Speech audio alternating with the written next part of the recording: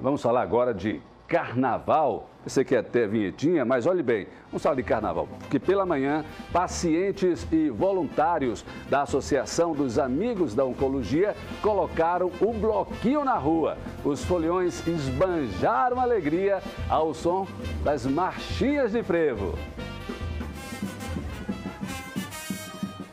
Os foliões deixaram a sede da AMO e seguiram pelas ruas do bairro em direção ao hospital de cirurgia. A banda Mamãe Quero Beber deu ritmo ao bloco para ninguém ficar parado.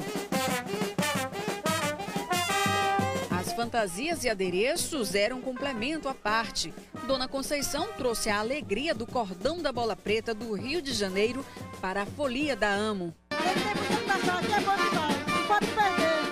Não faltou animação entre assistidos e voluntários. Olha só o molejo do seu Zequinha, aos 78 anos uma animação dessa em benefício dos pacientes, chega energia nova pra gente também. O difícil aqui é ficar parado. Eu já vim com a minha fantasia de grávida, consegui mais alguns adereços, ó, caí na folia. É o carnaval da AMO.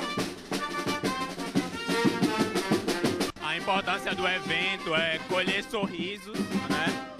Tirar o paciente dessa atmosfera do tratamento. Então o bloco, ele sai daqui da sede da instituição percorre algumas ruas no bairro Cirurgia e entra no Hospital Cirurgia para acolher, abraçar e levar alegria para o paciente em tratamento com câncer.